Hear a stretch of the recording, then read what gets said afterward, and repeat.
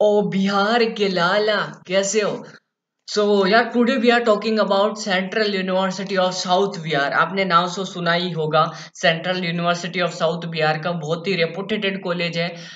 इसके अंदर सबसे ज़्यादा रिक्वायरमेंट की अगर अपन बात करें, सबसे पहले कौन बच्चे प्रिपेयर करते हैं? सबसे ज़्यादा, बहुत ज़्यादा जो बच्चे जाना चाहते हैं, जिसकी डिमांड है यार, वो बहुत सारे बच्चे जाते हैं एल एलएलएम कोर्स करने के लिए। एलएलएम कोर्स करने के लिए। यानी कोई एक एडवोकेट कोर्स है, जिसके अंदर लोग क्या होते हैं? वकील बन जाते हैं मेरे लिए। क्या बन जाते हैं? कमन क्या बन जाते हैं? वकील बन जाते हैं। इस कोर्स के अंदर। यार, मेरी इसके रिगार्डिंग जो है सबसे ज़्यादा जो ये कोर्सेस होते हैं, जैसे एक एलएलएम है मास कम्युनिकेशन है एंड अदर अदर है, इसके रिगार्डिंग क्वारी आती रहती है कि भैया, बहुत ही कम कॉलेजेज हैं हाँ ये सच भी है कि इंडिया के अंदर बहुत ही कम कॉलेजेज है, और अगर अपन बात करें, ये जैसे एल है बी एल है इन सब कोर्सेज की मतलब बहुत ही कम यूनिवर्सिटियाँ हैं, और अगर कोई प्राइवेट कॉलेजेज है तो उनकी फ़ीस बहुत ही ज़्यादा लाखों में है। सो बहुत सारे बच्चे ट्राई करते हैं कि भैया हमको ऐसे कॉलेजों में एडमिशन मिल जाए जहाँ की फ़ीस भी कम हो, और एनवायरमेंट और यूनिवर्सिटी भी अच्छा हो तो मज़ा आ जाएगा। सो यार, इसकी वजह से जो है कंपटीशन भी बहुत ही ज़्यादा बढ़ रहा है। Central university of south Bihar जो कि साउथ के गया डिस्ट्रिक्ट के अंदर सिचुएटेड है। अब फ़र्स्ट ऑफ़ ऑल बहुत सारे बच्चों की क्वारी का सोल्यूशन करता हूँ, वो है अप्लीकेशन कब आने वाला भैया? और एडमिशन का क्या प्रोसेस रहने वाला है? क्योंकि बहुत सारे वीडियोस बनाए गए हैं लोगों के द्वारा कि इस बार जो है सी का टेस्ट नहीं होने वाला है सी यू ई का टेस्ट होने वाला है। सो आप लोगों को दोनों का मतलब बता देता हूँ क्या होता है। यार सी यू सी का मतलब होता है central university common entrance test and C U E का मतलब होता है सेंट्रल यूनिवर्सिटी एंट्रेंस टेस्ट इसके अंदर कॉमन हट गया। कॉमन का क्या मतलब था कि बहुत सारी यूनिवर्सिटियों का एक साथ एंट्रेंस टेस्ट होता था। जैसे और एंट्रेंस टेस्ट क्या होता है? जैसे डीयू का अलग हो रहा है जे का अलग हो रहा है बीएचयू का अलग हो रहा है। सर ये जितने भी स्टेट यूनिवर्सिटियाँ हैं, इनका अलग अलग पॉसिबल नहीं है, क्योंकि अगर 40 एग्ज़ाम है, अगर 40 यूनिवर्सिटियाँ हैं, और बच्चे 40 यूनिवर्सिटियों का अगर एप्लीकेशन फॉर्म फिल करेंगे, एक अप्लीकेशन फॉर्म की मिनिमम अगर फ़ीस एक हज़ार रुपए है, वहाँ पर जाने का कॉस्ट एक हज़ार लग रहा है तो दो हज़ार रुपए हो गए। चालीस बच्चे अगर चालीस इसमें अप्लाई कर दिए तो अस्सी हज़ार उनकी कॉस्ट हो जाएगी। तो यार ये पॉसिबल नहीं है। आपका जो टेस्ट होने वाला है वो सीओ सिटी की official website CUET dot N T A dot N I C dot in पर जब तक कोई ऑफिशियल अपडेट नहीं आ जाता इसके रिगार्डिंग आप किसी भी यूट्यूबर पर विश्वास ना करें, किसी भी न्यूज़ मीडिया पर कुछ भी विश्वास ना करें बिकॉज़ आपकी जानकारी के लिए बता दू कि हमारे देश की जो मीडिया है, वो एक छबरी छबरी मीडिया है और उनकी जो रैंकिंग है पूरे वर्ल्ड वाइड एक सौ छियासठ नंबर की मीडिया है वो सो उनको तो आप बिल्कुल ध्यान ही ना दो। उसकी तो आप सुनो ही मत। ओके अब अपन बात करते हैं आगे क्या होने वाला है। सो so, यार अभी जस्ट मार्च के अंदर लास्ट वीक ऑफ़ मार्च में आपके एप्लीकेशन फॉर्म रिलीज़ होने वाले हैं।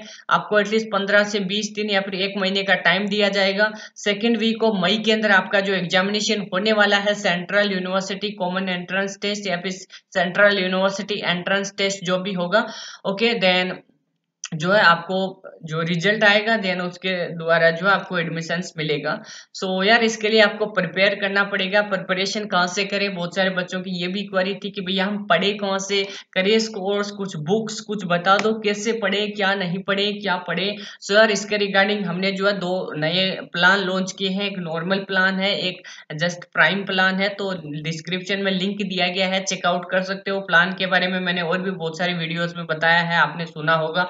ओके जिसके अंदर अगर हम एडमिशन के लिए पूरी हंड्रेड परसेंट जीत जान लगा देते हैं, करवाने के लिए तुम्हें रगड़ देंगे एकदम पढ़ा पढ़ा के, इतना पढ़ाएँगे इतना पढ़ाएँगे इतना पढ़ाएँगे, दिमाग में एकदम घोट घोट के डाल देगी हमारी टीम तुम्हारे दिमाग में, कि ये ये होता है, ये न्यूटन होता है, ये न्यूटन तब आया था, ये कोलंबस से आया था, ये श्रीलंका से आया था, इसने ये नियम दिया था, ये चेमेस्ट्री का ये अवोगाद्रो है, ये सारणी ये होती है, इतना तुम्हारा एकदम रगड़ देगी एकदम तुम्हें physics chemistry mathematics and other other जो भी कोर्सेस होते हैं तुम्हारे सो आई थिंक जो है हमारी टीम पूरी ट्राई करेगी कि तुम्हारा hundred and hundred percent admission हो जाए लास्ट तक काउंसलिंग तक एंड आपको जो भी बेस्ट आपके लिए एप्लीकेशन फॉर्म हो सकते हैं बेस्ट आपके लिए एग्ज़ाम्स हो सकते हैं एंड अगर आप बाई चांस अगर आपका एडमिशन नहीं करा पाते हैं सेंट्रल यूनिवर्सिटियों के अंदर तो इंडिया की top reputed government colleges with 25 lakh या फिर 15 लाख प्लेसमेंट के साथ फिफ्थ ज़ीरो काउंसलिंग फ़ीस और आपका जो सेंट्रल यूनिवर्सिटी का फ़ीस है, वो रिफंड कर दिया जाएगा।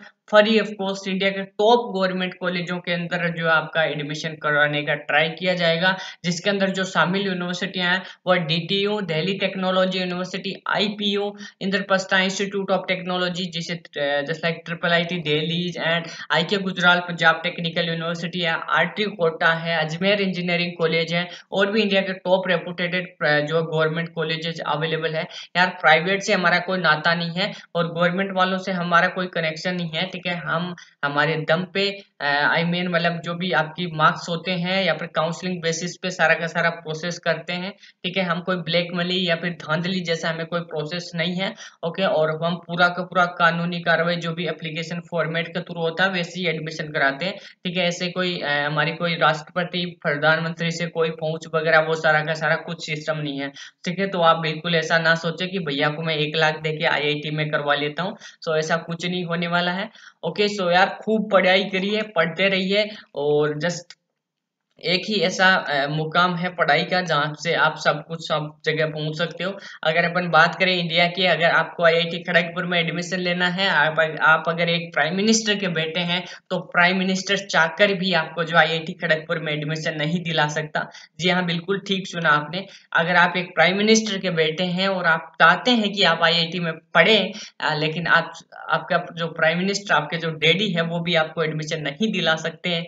आपको एडमिशन सिर्फ़ और सिर्फ़ उसी बेसिस पे मिलेगा, जिस प्रकार से नॉर्मल बच्चे एडमिशन लेते हैं आईआईटी के अंदर, उसी प्रकार से आपको भी आईआईटी में एडमिशन लेना पड़ेगा। जी हाँ ये रियलिटी है और आई थिंक मुझे इससे ये बहुत खुशी भी है कि हमारे जैसे लोग जो आईआईटी में जाते हैं, इसलिए इतना खुश होते हैं कि hashtag I I T I I T I I T दीवारें जो भरी रहती है आई आई टी के लिए, वो इसीलिए भरी रहती है क्योंकि वहाँ पे सिर्फ़ और सिर्फ़ अपने दम पे जाया जा सकता है। एक ही ऐसा मुकाम है एजुकेशन कलम हमारा जो है, जहाँ पे हम जो कह सकते हैं कुछ कि जो हम आए हैं, अपनी मेहनत कर गए हैं, वहाँ पे कोई पॉलिटिशियन किसी किसी के पास कितना ही बड़ा पैसा क्यों ना हो कितना ही अमीर क्यों ना हो, उसे घंटा फ़र्क नहीं पड़ता।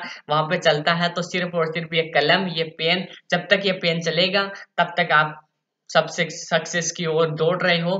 तो यार इसको मतलब पढ़ाई को जो है आप कभी भी सेकंड प्रायोरिटी के अंदर ना लो, चाहे आप गेम खेल रहे हो, चाहे आप कुछ भी कर रहे हो, कहाँ जा रहे हो गर्लफ्रेंड के साथ घूम रहे हो, कहीं भी कुछ भी कर रहे हो, लेकिन आप पढ़ाई को जो है फ़र्स्ट प्रायोरिटी पर रखिए। आप इसका बिल्कुल ध्यान रखिए कि जो है ये कलम की जो वैल्यू है इंडिया में, पूरी वर्ल्ड में, आपकी लाइफ में, इसकी जो वैल्यू है वो कभी घट नहीं सकती और इसकी बराबरी जो है कुछ भी ऐसी कोई चीज़ बनी नहीं है वो कर सके। Okay guys thank you thank you so much खूब पढ़ते रहिए, छोटों को प्यार दीजिए, बड़ों का सम्मान कीजिए। धन्यवाद।